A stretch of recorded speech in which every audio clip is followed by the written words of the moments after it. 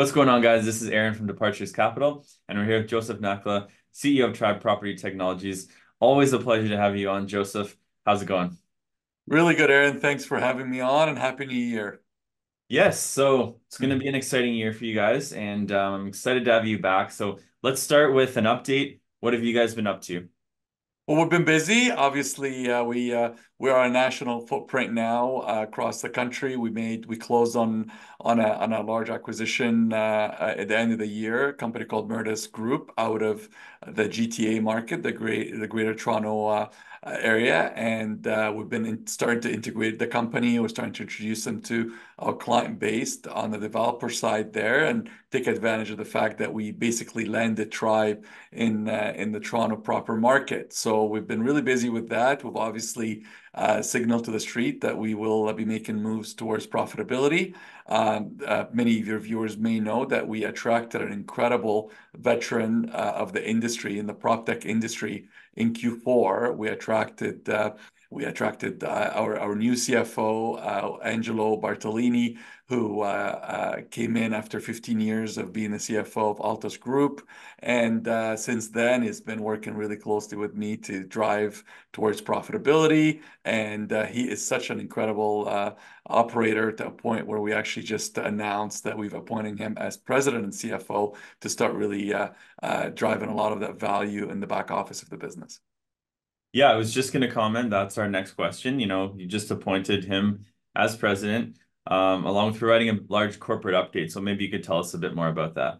Yeah, so very specifically, obviously, uh, he had been uh, a CFO of, a, of an organization that that hit almost a billion dollars of revenue, and uh, took him uh, over 15 years from uh, uh, you know through incredible growth. And we're we're we're seeing that kind of of, of growth trajectory with our organization, and and he comes in with such an incredible wealth of of knowledge around processes for a national player. And uh, as as many of the viewers may know, that kind of uh, incredible uh, scaling that we've been doing in the last uh, essentially four years across the country required us to make a big investment in there. And now we're starting to reap the uh, rewards of the efficiencies and the acquisitions that we've brought in. So we're really just focused this year on we'll continue to make acquisitions, we'll continue to grow our footprint organically and non-organically, but really now it's uh, we feel very strongly that the stars are aligned for us to start driving towards profitability.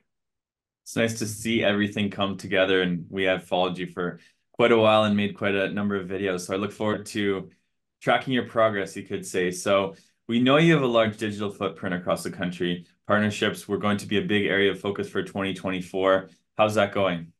Yeah, we're we're starting really, really strongly. And for those that don't know, I mean, obviously, one of the big things we do as an organization is we deliver digital services and property management services uh, for all of our condo clients and rental clients. And with that opportunity, we have a uh, you know group buying power marketplace where we can actually put offers and services in front of our residents instead of in front of our condo corporations and strata communities. And uh, we've uh, we've been working really hard on that. And I, I think we, we've started the year really really strongly. So people will notice that our our partnership revenues is, is heading towards the right direction and our our business model is uh, is uh, starting to uh, pay dividend Wonderful. So, you know, do you have any further plans for M&A? You know, we know 2023 was a big year. You made a lot of moves.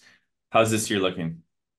We're uh, we feel really really good about our trajectory here. Um, I've always spoken about M&A in our in our market as as the pyramid. If you look at the addressable market or companies available for acquisition, a lot of small companies, and you work your way up to greater assets, but you need the scale and you need the backing to be able to do it. And last year, uh, we announced that uh, uh, one of Canada's largest banks had uh, had give us an M&A line to go and be very mm. active and make moves on that, and we uh, we plan on on, on making those moves this year. It's gonna be exciting watching you deploy it. So with rate cuts on the horizon, why is now such a great time to look at Tribe versus other times in the past or, you know, other companies specifically? Well, our our space is still greenfield. There's no lack of condos and buildings to manage and apartment buildings eh, to, to manage. There is uh, with the interest rates we think are are going to also continue to drive uh, affordability for homes. Uh, it's it's been a tough go since the interest rates have gone Mm. up and and maybe slowed down some of the uh, the new construction. I think that's going to get reversed as as we see some of these rate uh, rates come down. And and then we're also seeing quite a bit of demand on digital services in our ecosystem. We think we're incredibly undervalued as an organization. We're trading well below one times revenue for a mm-hmm. prop tech that's unheard of, but that's okay. We will keep our feet moving and we keep building a great company, and the rest will take care of itself. So this is as good of a time as any. We've never been cheaper. Couldn't agree more. Well, it's a pleasure, Joseph, always, and I look forward to having you back on for more updates. Best of luck. Thank you so much, Aaron.